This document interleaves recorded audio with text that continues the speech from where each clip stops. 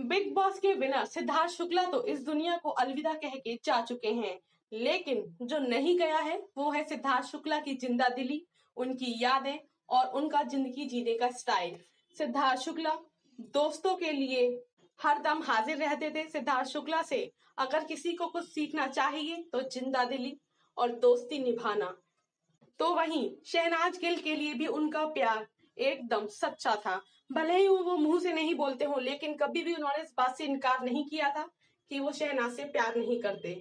वो उसकी बेहद केयर करते थे और बिग बॉस के हाउस में भी वो बोल चुके थे कि हाँ शहनाज, मैं तेरी केयर करता हूँ और तू मुझसे लड़ती है तो मेरा पूरा मूड खराब हो जाता है, पूरा वो दिन ही खराब हो जाता है।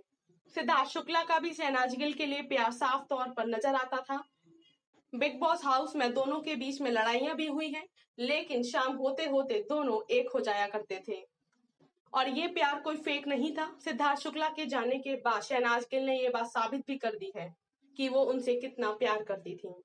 सिद्धार्थ शुक्ला और शहनाज गिल के फैंस उन दोनों को साथ में देखना चाहते थे और उनको एक टैग भी दिया था सिडनाज का। लोग चाहते थे सिडनाज शादी करें, लेकिन शायद किस्मत को कुछ और ही मंजूर था। सिद्धार्थ शुक्ला मात्र 40 वर्ष की कम उम्र में ही इस दुनिया को अलविदा कह गए। आपको बता दें, अंतिम संस्कार के दौरान जो एक बीवी के हक, जो एक बीवी के फ़र्ज़ होते हैं, वो सब शहनाज गिल ने ही निभाए हैं। ऐसे में उनको शहनाज सिद्धार्थ शुक्ला कहा जाए तो ये गलत ना होगा। और बता दें, सोशल मीडिया पे भी शहनाज सिद्धार्थ शुक्ला काफ़ी ट्रेंड कर रहा है। लोगों ने शहनाज को सिद्धार्थ की बीवी मान लिया है और काफ़ी, ये हैशटैग काफ़ी ट्रेंड कर रहा है शहनाज सिद्धार्थ शुक्ला। सिद्धार्थ शुक्ला के जाने के बाद से शहनाज गिल पूरी तरह टूट गई हैं। वो बिल्कुल बेसुध हो चुकी हैं।